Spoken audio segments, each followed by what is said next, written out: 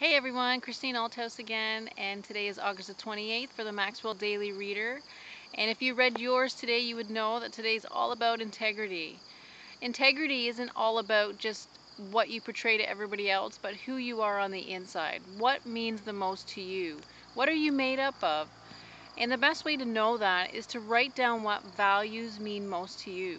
Write them down so you can see them. So when you're um, faced with challenges in your life, you can look at those values and say, do these line up with what I believe in? Because if they do, then you know your integrity is in check. If they don't, then it sounds like you're going to be bending the rules, and that's not integrity. Integrity is keeping true to who you are, because that's who everybody wants. They want to have the same person every single time they're around you.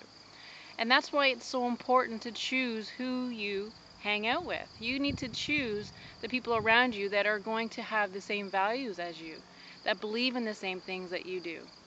Because when you don't, you're constantly battling integrity. Because we're all born with sin in us, and we all are tempted.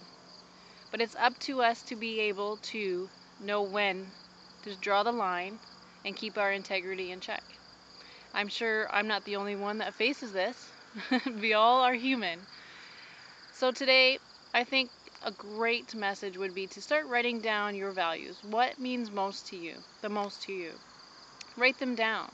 And this is who you are. This is your integrity. And keep it in check. Don't allow anybody to sway you from that. I'm going to read you just a little bit of a, a quote that came out of the book and something that I added to it.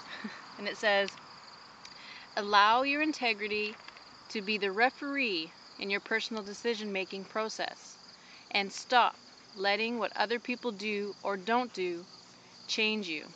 Be who you're meant to be because we are meant to be great. I've said this before. We are meant to be great. We are not junk. Write down your values, stick to them, and that is your true integrity.